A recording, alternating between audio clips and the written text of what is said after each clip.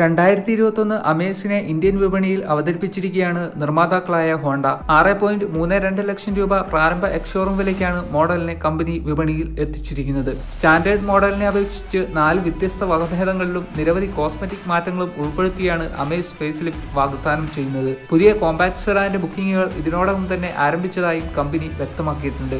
ഡെലിവറികൾ ഉടൻ തുടങ്ങുമെന്നും കമ്പനി അവതരണ വേളയിൽ അറിയിച്ചു. മോഡലിന്റെ ഈ വേരിയന്റ് പഴയ പ്രീ ഫേസ് ലിഫ്റ്റ് മോഡലായി തന്നെയാകും നിലനിർത്തുക Bluetooth L E D D ആറുകൾ എന്നിവ ഉൾപ്പെടെയുള്ള നിരവധി സവിശേഷതകൾ എസ് ട്രിമിന് ലഭിക്കുന്നു. മറുവശത്ത് വി എക്സ് വേരിയന്റിന് താഴെ പരാമർശിക്കുന്ന ഒരു ടൺ അപ്ഡേറ്റുകളാണ് കമ്പനി ലഭ്യമാക്കിയിരിക്കുന്നത്. കോമ്പാക്ട് സെറാന്റെ പഴയ മോഡലിനെ അപേക്ഷിച്ച് അമേസ് ഫേസ് ലിഫ്റ്റിന്റെ രൂപകൽപ്പനയിൽ ഹോണ്ട ചെറിയ മാറ്റങ്ങൾ വരുത്തിയിട്ടുണ്ട്. നവീകരിച്ച പുതിയ ഫ്രണ്ട് ബമ്പർ പുതിയ എൽ ഇ ഡി പ്രൊജക്ടർ ഹെഡ്ലാമ്പുകൾ സ്ത്രീയാകൃതിയിലുള്ള എൽ ഇ ഡി ടെയിൽ ലാമ്പുകൾ എൽ ഇ ഡി ഡി ആറുകളും ഫോഗ് ലാമ്പുകളും പുനർരൂപകൽപ്പന ചെയ്ത chrome front grille chrome door ഹാൻഡിലുകൾ പുതിയ പതിനഞ്ച് ഇഞ്ച് അലോയ് വീലുകൾ എന്നിവയാണ് വാഹനത്തിലെ പ്രധാന മാറ്റങ്ങൾ. പുതിയ അലോയ് വീലുകൾ നാലാം തലമുറ ഹോണ്ട സിറ്റി സെഡാനിൽ കാണുന്നതിന് സമാനമായി തന്നെ കാണപ്പെടുന്നു. എന്നിരുന്നാലും ഫേസ് ലിഫ്റ്റ് കാറിന്റെ മൊത്തത്തിലുള്ള സീൽ ഔട്ടിന് മാറ്റങ്ങളൊന്നും തന്നെ ഇല്ല രണ്ടായിരത്തി ഇരുപത്തൊന്ന് ഹോണ്ട അമേസിന്റെ ഇന്റീരിയറുകൾ പുതിയ സീറ്റ് അപ്ഹോസ്റ്ററി ഉൾപ്പെടെ നിരവധി നവീകരണങ്ങൾക്ക് വിധേയമായിട്ടുണ്ട്. ഇത് മികച്ച ആകർഷണവും ഏറിയ അപ്പീലും നൽകുന്നു. ഏറിയ അപ്പീലിനെ കുറിച്ച് പറയുമ്പോൾ അകത്ത് ശുദ്ധവായുവിനായി കമ്പനി ഒരു നവീകരിച്ച ക്യാബിൻ ഫിൽറ്ററും ചേർത്തിട്ടുണ്ട്. മറ്റ് നവീകരണങ്ങൾ പരിശോധിച്ചാൽ ഡാഷ്ബോർഡിൽ satin silver ആക്സന്റുകൾ climate control Honda smart key push button start ഏഴ് inch touch screen infotainment system semi digital instrument cluster voice കമാൻഡുകൾ എന്നിവയാണ് ഉൾപ്പെടുന്നത്.